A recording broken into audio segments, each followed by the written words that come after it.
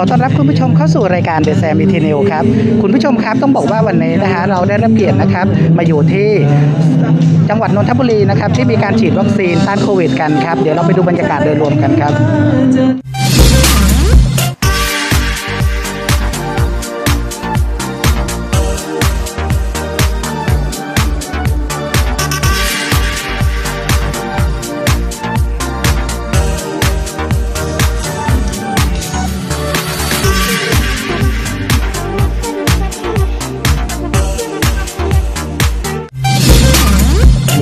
ครับคุณผู้ชมฮะวันนี้นะฮะโนอาได้รับเกียรตินะฮะจากเจ้าหน้าที่จิตอาสาเจ้าหน้าที่อสมนะครับ ที่มาบริการประชาชนในการฉีดวัคซีนโควิดครั้งนี้พี่แอ๋วสวัสดีค่ะต้องถามความรู้สึกก่อนประชาชนมาฉีดบริการตรงนี้เนี่ยเรามีความรู้สึกยังไงครับ เอ่อรู้สึก เต้นแล้วก็ดินยินดีนะคะ ยิ่งเยอะยิ่งยินดี เพราะพวกเราอะอยากให้ประชาชนทุกท่านน่ะได้รับการฉีดวัคซีน เพื่อว่าเป็นภูมิต้านทานกลุ่มนะคะ จะได้หาย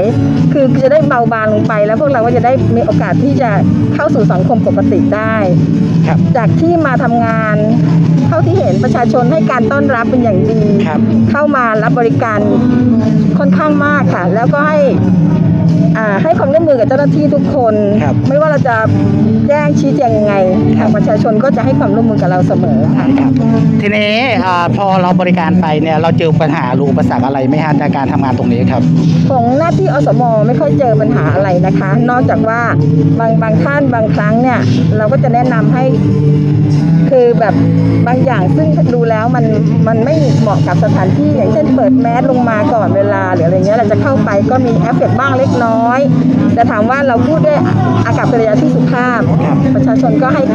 ให้ผลตอบรับที่ดีค่ะใช่ครับค่ะทีนี้อยากให้พี่แอวเนี่ยที่เป็นเจ้าหน้าที่อสมตรงนี้เรียนเชิญประชาชนนนทบุรีนะฮะให้ออกมาฉีดวัคซีนต้านโควิดตรงนี้กันครับ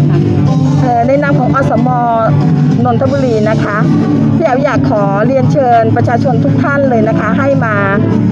ฉีดวัคซีนกันมากๆ เพื่อพวกเราจะได้ปลอดภัย แล้วก็เป็นการสร้างภูมิต้านทานหมู่ด้วยค่ะได้ได้เพราะฉะนั้นรบรบกวนขอให้ประชาชนให้ความร่วมมือกับพวกเราด้วยนะคะ ได้ครับ ขอบคุณพี่แอวมาก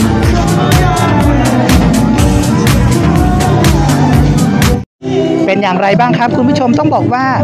ประชาชนที่จังหวัดนนทบุรีนะครับให้การตอบรับในการฉีดวัคซีนต้านโควิด ครั้งนี้กันมากเลยนะครับ เราเรียนเชิญนะครับ ให้ประชาชนออกมาฉีดวัคซีนต้านโควิดกันครั้งนี้ครับเราเชื่อว่าประเทศไทยกลับมาแน่นอนครับ